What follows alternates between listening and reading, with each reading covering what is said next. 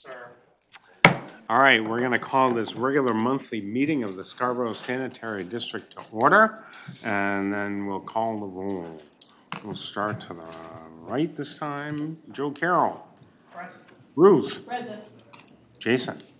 Here. Mike. Here. Tony. There. Ben. Here. I'm Nick. I'm the chairman, and I'm here too. Approval of the minutes. Thank you, Jason. Thank you, Joe. Any additions, subtractions, corrections? Barring none? All in favor? And we have a few abstentions. We have um, Ruth, Ben, and Joe.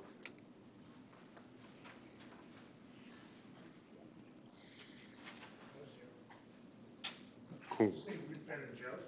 Joe was here. Oh, I'm sorry, Ruth and Ben, my mistake. He was probably so quiet at that last meeting. He was. Oh, okay. Uh, So uh, it's more the chairman's memory than anything else that's going on here. Thank you. Uh, Superintendent's report. Oops, Thank you.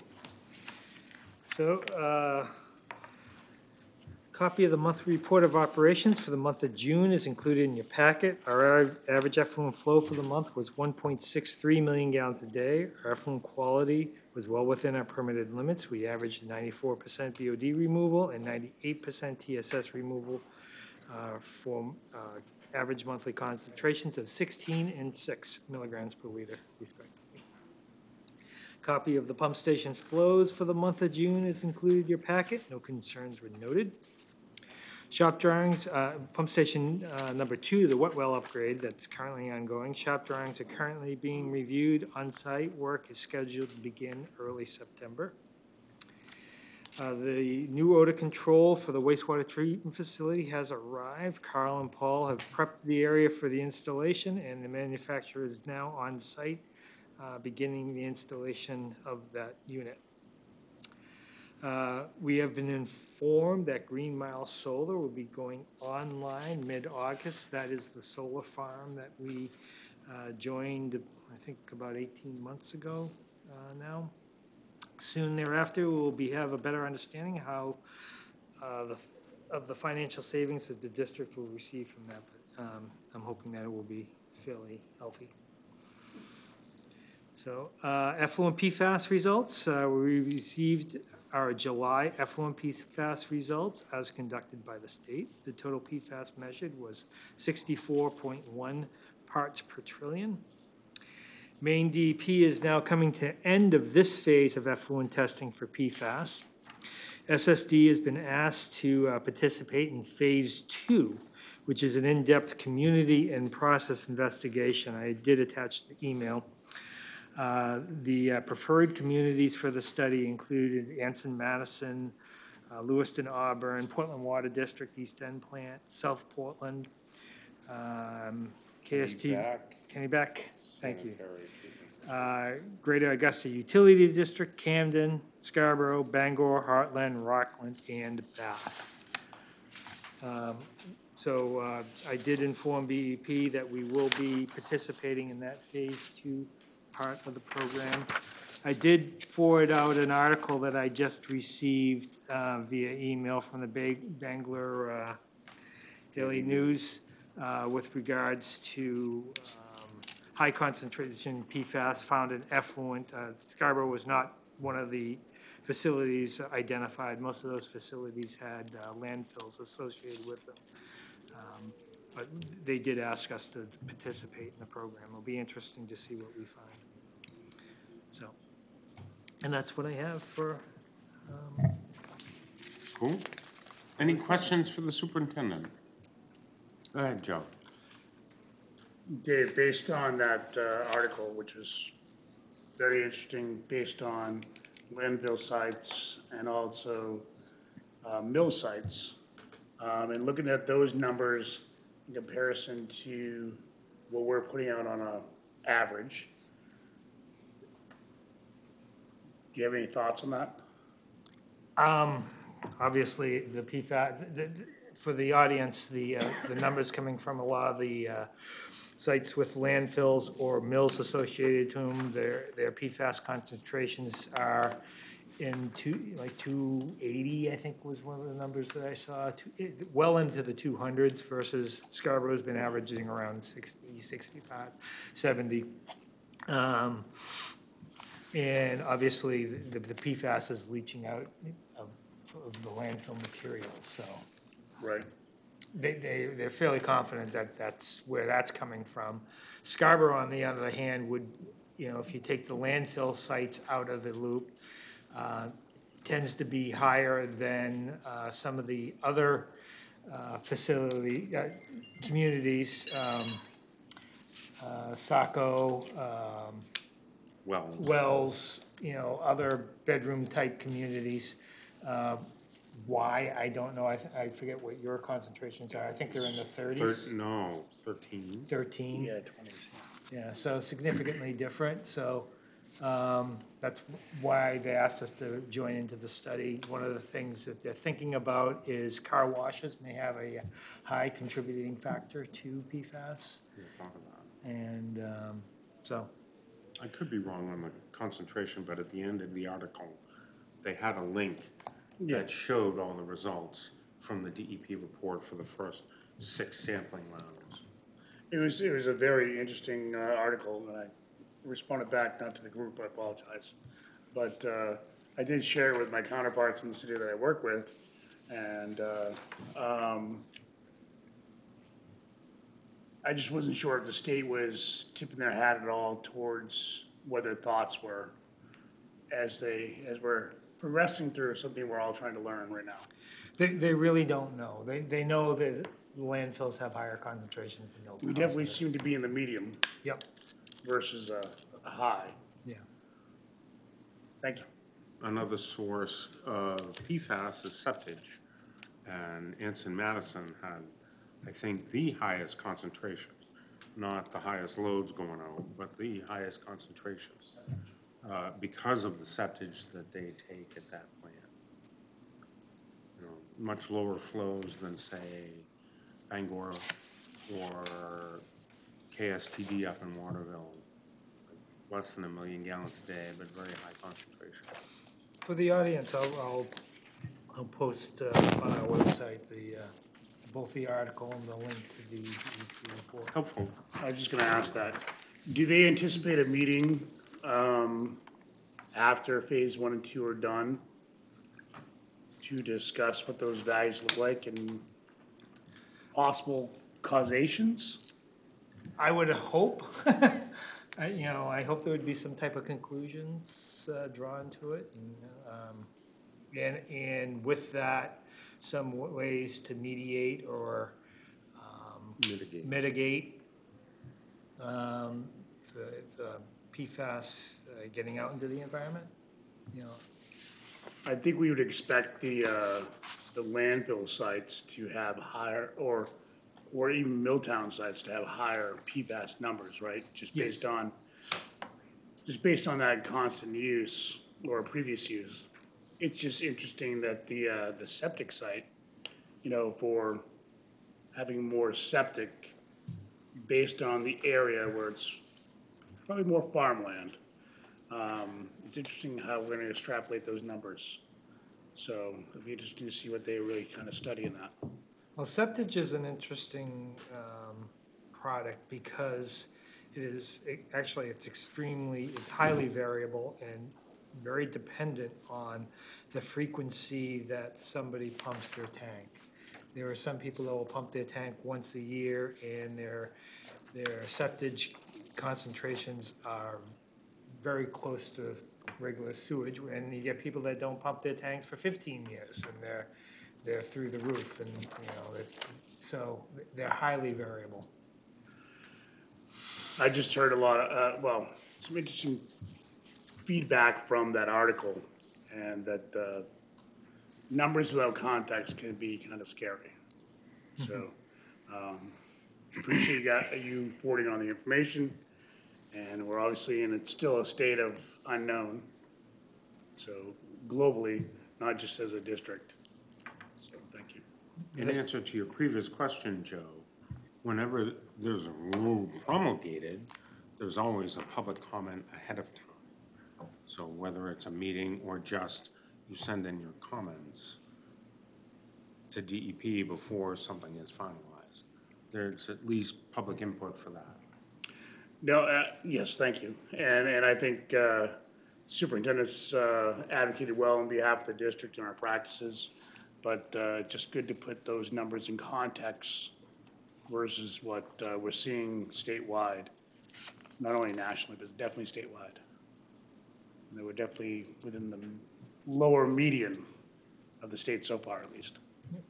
And the state of Maine really is leading the national effort on this. Yeah. Um, So uh, the rest of the country and to some extent the world are really watching what unfolds here in this state. Um, So, you know, we are the leader. It- It's a- an appropriate hyper-focus, but we're still trying to figure out how to deal with it. Thank you. Ben, you have a question? Well, I, I was just gonna make a note that they, they also chose facilities based on existing plant expertise and staffing resources, so I think that was probably a big factor as well. Thank you. Someone me- read the memo. Excellent.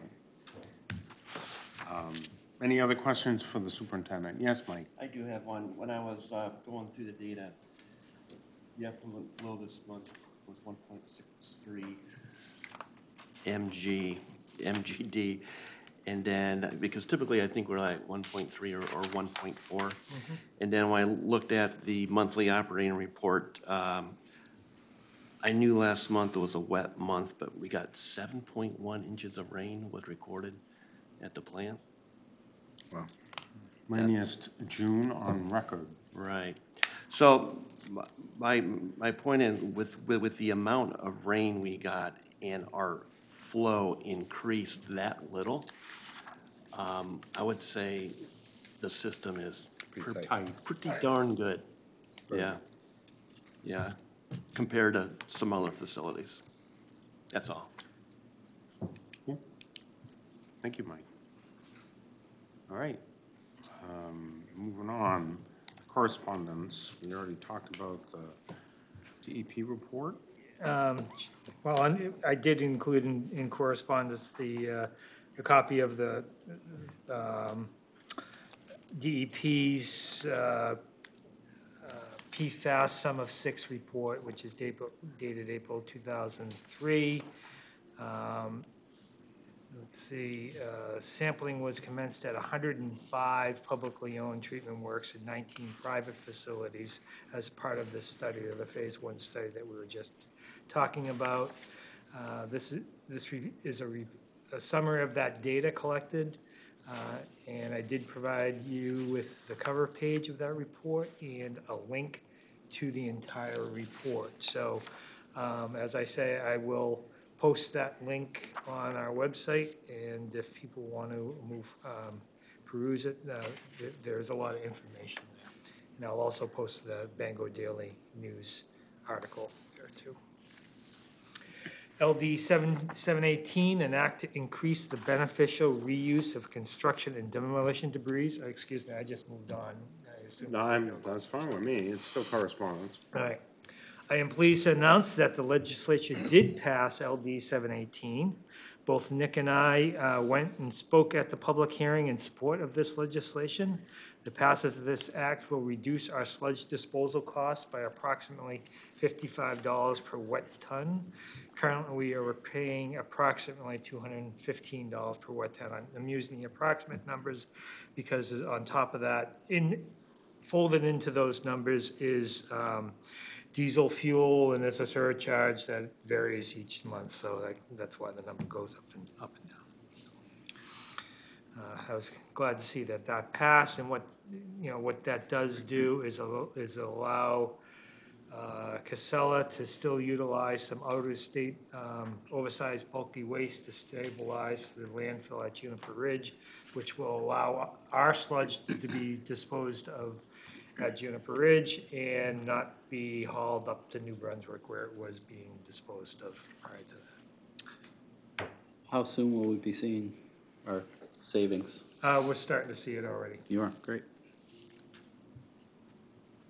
I did. I, I didn't notice it on the bill I just signed, so I wonder. Actually, Officially, the end of July is the last bill with that escalator on it.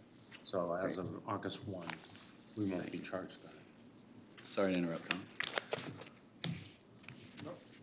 So, Go ahead, Tom. Yeah, I have a real quick question. So the two fifteen is what was allocated when things went south, we had to pay an increase, is that correct, Dave?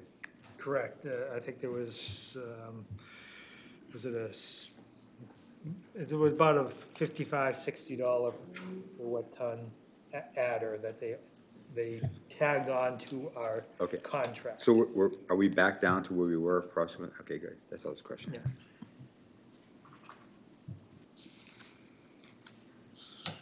Any other questions?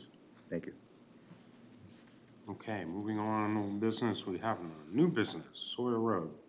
Attached is a letter from the town uh, requesting the district's support to explore funding opportunities to offset the cost of extending public sewer on Sawyer Road.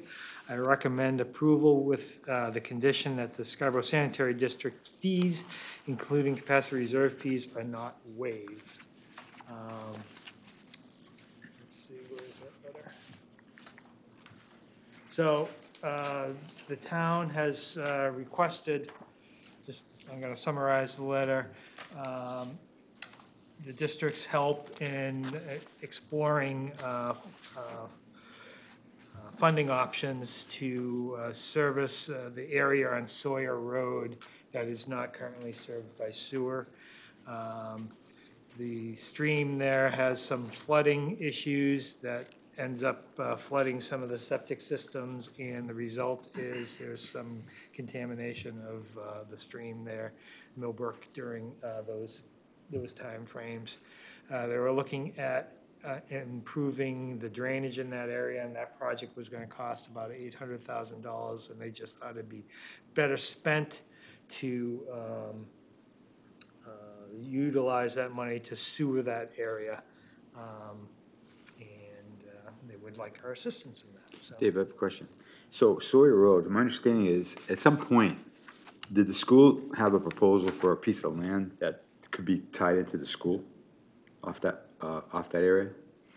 There's an extension, I thought Risbara had an option of buying a piece of land back there in that area that would extend, I believe it does extend onto, uh, the downs on the backside with the school. I know this, I know the Downs is looking at, um, or or they- they're talking to the town about a lot for the school. I don't know Right. exactly where it is in Right, the so Downs. this extension is only gonna handle those, those lots? We're talking about the lots specifically on Okay. Sawyer Road. Uh, The Downs is sew- is sewered in a multiple different um, ways, so it's, um, that's been reviewed and studied already. So, um, looking for approval to work with the town in exploring funding options. So they're looking to us for money. What's that? So they want money from us? No, they have not asked us for money, and, you know, I just want to make, it- the- it has been the policy in the past, the district does not waive our capacity reserve fee for any town projects, because it puts an undue burden onto a portion of the taxpayers in town versus the, the town as a whole supporting this entire project. So they have not asked us for money, just for some assistance. Motion to approve? Second. Russian. Uh, Who got the second? Tony? So, Ben and Tony. Yes, Joe? Do we know where that break is on Sawyer Road? I believe it's What's that? pretty substantial, right? It goes from almost around the curb prior to Route One to Gorham Road? I, I didn't hear your que, your question. How far is the expansion they're looking for? Uh, there's sewer, Are they looking to loop all the way to one fourteen? Uh, no, uh, there's sewer all the way, if you're coming from Route One, there's sewer all the way to, uh, mm, just short of Trackview Drive. There's that new development, huh? Just before the corner. Right, just before the corner. That's where it stops, right? Th- th- th- that's where it stops there. You go around the corner, and there's that new development that, um, that was put in. Cottages on Sawyer is the name of the development. And it's, uh, there's uh, pressure sewer that goes, that services that project. So it's really not that big of a, No. a all right. section. Less than I thought. All right, thank you. Thousand feet?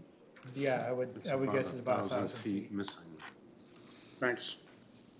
So, uh, still a question, is it a town project to, to extend the sewer? So, once, to say this, you looked at it and it works, right?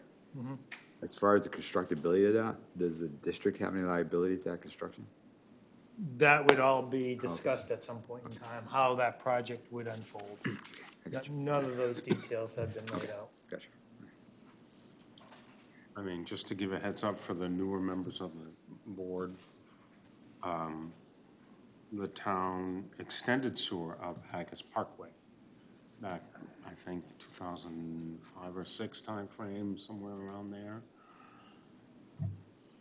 We managed the project, the town paid for it, and we used our engineers to design it and inspect it. Um, And that worked out really well. It was a good collaborative effort. And I think a model like that, following that model, would help in this situation. Thank you. Any other questions? Barring none, all in favor? None opposed? Thank you. All right, um, town public sewer ordinance updates. As noted in that same letter, uh, provided with item seven A from uh, Angela uh, Blanchett. Uh, the town is exploring increasing the distances that would require properties to connect to the sewer instead of relying on septic systems. Currently, as defined by the Maine subsurface wastewater disposal rules, the state requires a property to connect that are within 200 feet of the public sewer. Although this item doesn't require board action, I did want to express my concerns. Um, The, the economic impact on homeowners may, be- may be significant and far exceed the cost of repairing or upgrading a sewer, a septic system. The distance requirement to the property line with no consideration, has no consideration of large parcels where a house could be a thousand feet back from the road, and that, it, it, you know, they would still be required to be sewered. Uh, This policy would result in using up collection system and treatment plant capacity to service areas that do not have any environmental concerns, thus removing capacity that could be better utilized for more environmentally sensitive areas in town.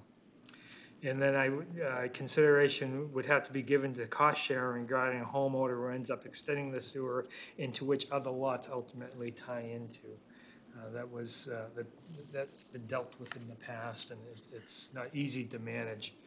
Uh, Frankly, I think the town would be better served addressing areas of concern individually, like how the town uh, got sewered in the eighties, when Higgins Beach, Prouts Neck, Pine Point, Dunstan, Eight Corners uh, were sewered, and then how Haigis Parkway and, and now Sawyer Road are being addressed. So, you know, they're, they're addressed the, in the more environmentally sensitive areas, and then, um, and thus preserving the capacity of the treatment plant.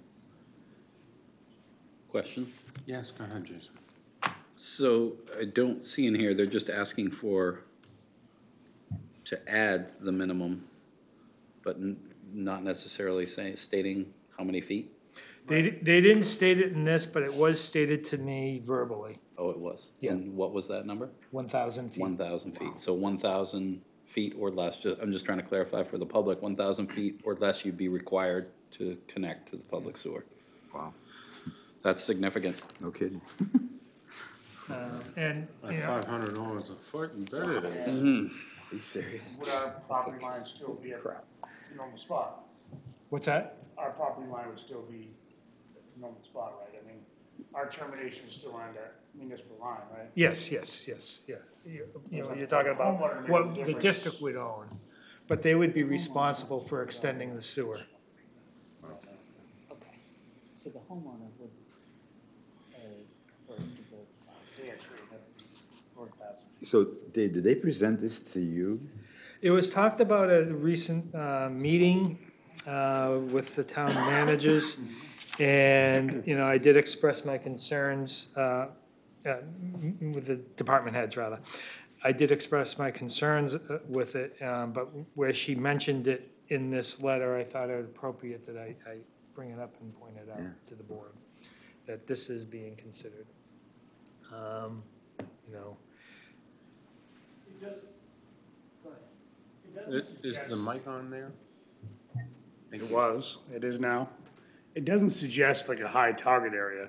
It just seems kind of canvassy. Am it's I very, not it's mistaken? very broad brush. Yeah, yeah, very broad brush. So, I mean, I, I, I do agree with you that, like, in some areas that maybe are notoriously wet or histo- historically wet, that this might make sense, but, I mean, I appreciate a conversation and look forward to that. But, uh, from a homeowner being required to, um, I guess that uh, remains to be seen. It, I agree with you hundred percent, Dave. I, I think the impact to the owners. Second is, I think the use of better environmental project, those the septic systems work, right? I mean, Oh, yeah. eh, Scarborough overall has done that in, with their entire sewer system. Why change it now, I guess? I don't know. That's a big burden. And it, Go ahead, Jay. go ahead, Mike, you were first. So I know it varies from state to state, but I guess I wasn't aware that if you have a working septic system within two hundred feet, that you have to connect the public sewer. If you have a non-working one. So, Just if the system so, so, malfunctions. so only if the system fails would they have to hook up? Yes, that's Okay, okay, okay, If it, pa- if it by, if it passes by, it doesn't have to. all right. If the pipe passes by Correct. and your system, your septic system It's is functioning. still working, you don't have to hook. Correct. I, th- I, I actually not quite sure, I think the language is kind of vague in that area, whether you're required, you may know, um, more than I do. I don't think they have to, and, and I think the issue is, uh, do they pay a fee still even though they're not connected? That's, see, that's the thing. I don't think they do. Well, it depends on what town, what district. No, here, There- this, there this is- district, This district, we do not have the, uh, it would be Um, called an a ability, ready to serve. ready to serve or Yeah, ability ready to to serve, serve. um, Charge for individuals that the sewer passes by. There used to be at one point in time, and um, there are so few that uh, the board chose to vacate that Sunset. charge. Yeah, Sunset sunset. that charge, I guess. And, Just uh, went to commercial. I'm not familiar with the language either, but I would expect that it would make a difference whether it's a force main or a gravity sewer, right? Yes. So if you had a force main that went within Two hundred feet. two hundred feet, You that's- wouldn't be obligated. You wouldn't be No, it's obligated. public. Unless, of course, it's a low-pressure, what's called a low-pressure sewer Low-pressure system that's designed for connections. Yeah. You know, it'd be interesting, Ben, you're a CEO, what's your take on that? I, I think the two hundred foot rule I- is a sensible number. I, I think a thousand is a huge number. And, uh, it'd be difficult to tell a homeowner, you know, 600, 800 feet away from a sewer line that they're not allowed to repair their septic system. They have to connect to public sewer. Seems, seems unreasonable in most cases. Sure, there's certain cases that there could be environmental concerns on a case-by-case basis, but to require it town-wide seems far-reaching. Dave, do you think we need to consult our legal before we go into any further discussions with the town about this? On what we can, uh, order a resident to do? Say that again? On what we can impose on a resident to do?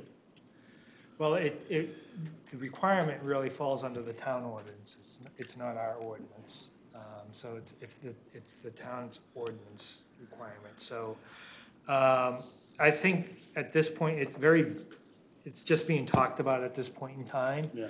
I, you know, I, I think it would be best to um, memorialize uh, our concerns and um, convey them to the town and ask for a workshop or, you know, to, to further discuss this item, because obviously we're connected at it, at the hip, but, um, you know, the, the treatment plant only does have a certain amount of capacity, and if we did start extending the sewer, it's gonna go away. Um, Yeah, if we were in for the money, we'd say, everybody hook on, but that's not the case. Yeah. I mean, we're looking at the greater interest for all residents and the, also the viability of the system. environmental impact. I appreciate bringing it forward and look forward to the future conversations. I think a pre, uh, a future workshop would be probably beneficial to get, if it gets to that point. And you're not looking for a motion of anything, I, it's I just wasn't, you informative know, at this point, correct? she addressed it, she, she raised the issue in the letter. um, uh,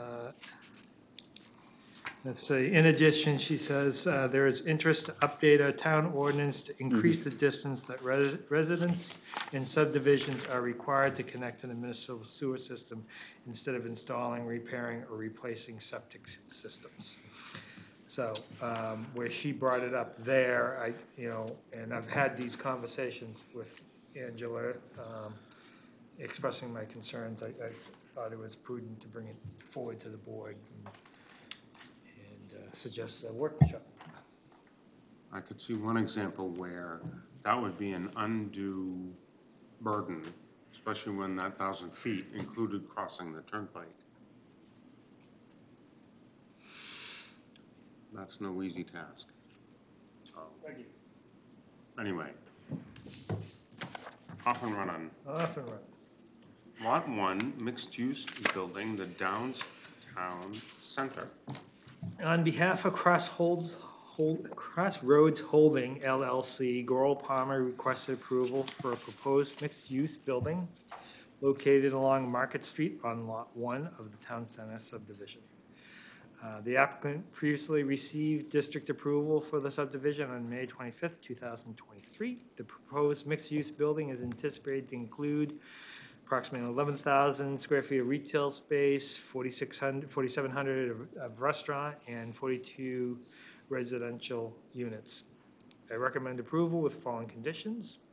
Wastewater flow allocation for typical sanitary waste based on the following. The retail would be nine hundred and forty-two gallons per day, restaurant three thousand three hundred and sixty, and residential would be eight thousand four hundred gallons, for a total of twelve thousand seven hundred and two gallons per day. Uh, You get the cough button. Uh, This project is fully subject to the capacity reserve fee. The current capacity reserve fee is nineteen dollars and forty cents per gallon uh, and is adjusted monthly based on the ENR. The lot has an allocation of hundred and sixty gallons uh, per day and that, um, and consequently, twelve thousand five hundred and forty-two, excuse me, uh, forty-two gallons are subject to the capacity reserve fee, for a total fee of two hundred and forty-three thousand, three hundred and fourteen dollars and eighty cents. Uh, Capacity reserve fees will be paid upon application for the building sewer permits. Any flows more than this approval are subject to additional approvals and fees. A submeter will be required to measure the commercial flow. An increase trap permit application must be submitted for, uh, for model selection and sizing prior to installation of the proposed grease trap. And we do have a representative from Gorrill Palmer here, and I'm sorry, I for- I've forgotten your name. Trevor? Trevor? Yeah, Trevor Gettig from Gorrill Palmer. Before you do anything, we need a motion on the floor, please. Thank you, Joe. Thank you, Jason. Now. Mike, and Is it on? All right. Uh, I'm Trevor Gettig from Gorrill Palmer. Um, as Dave just mentioned, we are um, proposing a four uh, floor mixed use building um, located in town center within the Downs. It's located uh, on the corner of Scarborough Downs Road and Market Street. Um, As he mentioned, it's retail and restaurant primarily on the first floor, and then residential units on second, third, and fourth floors.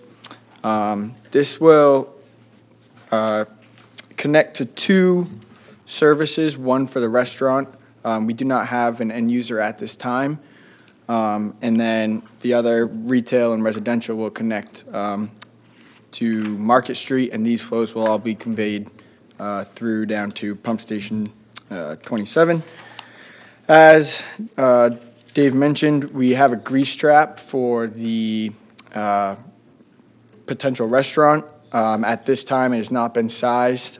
Uh, Until we get an end user, we uh, request that we don't size anything until we can accurately predict what uh, will be in place, and then at that time, um, we will submit uh, sizing and seek uh, approval with capacity fee and everything you mentioned, so. Okay, any questions for Trevor? So the 2,000 gallon grease trap that's shown there is just a placeholder at this point? Uh, yes, at this time, we just don't have an end user, so it's hard to, you know, get fixture counts and everything until we, we have a specific user. Hey Dave, I have a question. It's kind of weird, because the capacity reserve fee, you had allocated hundred and sixty uh, gallons per day. And all of a sudden, it went up to twelve thousand. So I guess my question is, Why? Yeah, why? I was like- When, when the subdivision was approved, um, there's a stub that was left for the lot. Um, and the, uh, when a stub is left for the lot, we do a minimum, um, allocation for the lot. Oh. Um, to, knowing that something's going to be built there, as they left the stub versus just driving, driving by it. And, uh, so, that's why. Okay. But in the sizing of the pump station, they've looked at flow allocations, you know, high, much higher flow allocations for, the- than, than one sixty. They took, they took the, this into account. That's why there's one capping on one side. one in- Say that again? That's why we're capping out from one side to the other. Um, I had a question. Did you do the review on these, or did we hire it out? I did, did the review Okay. Are you okay with them not putting a grease interceptor in now? Yep, They're doing all that site work. um, But I guess, yeah, you can put it in there. dig a hole. You can dig a hole. Works for me. Okay. Any other questions for Trevor or for Dave? All in favor? None opposed. Thank you, Trevor. Thank you.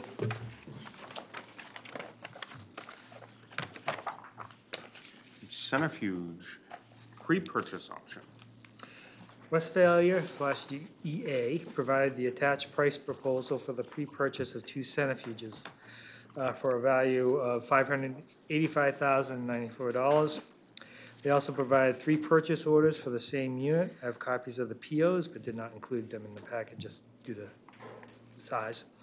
The average of the three was the five eighty-five oh ninety-four. Purchase, uh, the, uh, the pre-purchase could potentially shave about six months from the delivery date.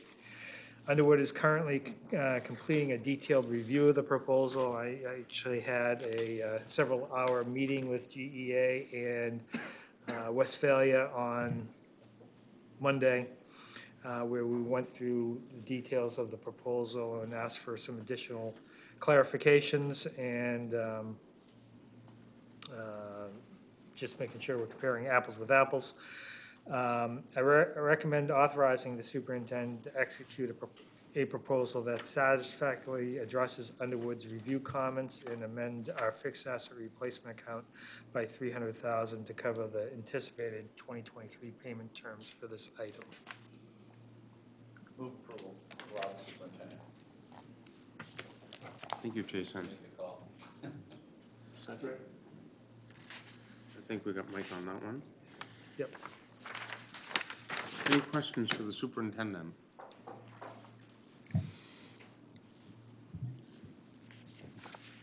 Barring none. This was already pre-budgeted, correct? What's that? This is, if I remember right, we already budgeted for this expenditure. Now we're just looking for He works for them, going ahead of the budget. Yes, correct. It, it's in our capital, uh, replacement plan, um, right now. It, it wasn't included in twenty twenty-three budget, but it was projected for twenty twenty-four. Correct. But the expenditures would be this year? Part, that's. Or at least the- A portion, according to the a payment portion plan. of the payment plan would be, and Yes. that's one of the di- discussionary items, they front-loaded the, the payment. Mm-hmm. To And, get uh, construction started. well, they front-loaded the, they want their money, up more money up front than I'm willing to give them, so. So, so how does that look like for just budget cycles, just for transparency? You know, purchasing now, obviously it's good to get a, a better bargain, right? Um, This dollar amount, how does it compare to what we'd already budgeted in general aspect? Oh, it's, it's well within the budget, my, uh, of, of the project, foreseen project. And so moving it ahead, there's a benefit of keeping it below the budget. Yep. And it doesn't obviously impact the current budget. Correct. Thank you. Any other questions? All in favor? Unopposed? Cool. Uh, Budget summary. Um, ooh, uh, Six-month budget summary? I lost my notes. I recommend approval. Oh, I was looking for my notes. There you go. Motion to approve? Thank you, Ben. Thank you, Ruth. Any questions, comments? I looked at it last week sometime, looked pretty good. Barring none, all in favor? None opposed.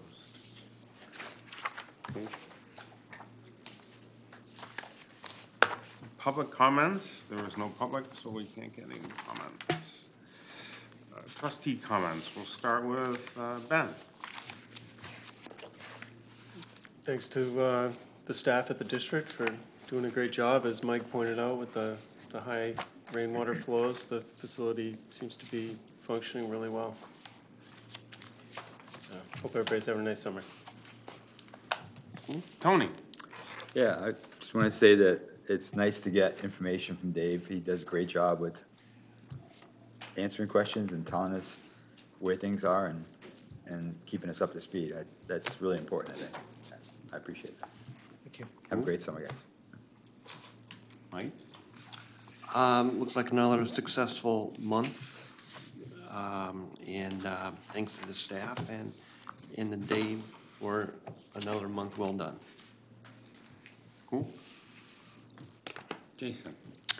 Uh, Thanks also to the staff. Appreciate all the hard work that everybody's putting in on these hot days. We're finally having a summer. Appreciate all the work that everybody does, and uh, looking forward to hopefully working closely with the town on uh, whatever this may bring for Sawyer Road, and hopefully we can help settle some environmental issues down there. Ruth? Thank you very much for all the hard work you and your staff do, and thank you for um, providing information that even I understand. So I appreciate it. Because I read this and I think, oof, I can't wait for the meeting, so thank you. Joe? Uh, Thank you, uh, both the superintendent and Nick, uh, for uh, speaking for LD seven eighteen um, and advocating for that. Um, And I appreciate uh, you being a good advocate for the district and our- also our stakeholders and uh, keeping us informed of what's going on. Um, And uh, summer's finally here. I hope uh, everybody stays safe. There's been way too much tragedy for as much rain as we've had already throughout the state. Uh, I do appreciate all the work the staff's been doing. um, And just wish everybody a good summer until the next time we meet. Cool. All right. Um, I don't have any comment tonight, so I'll ask for the final motion. Second. All in favor? We're done?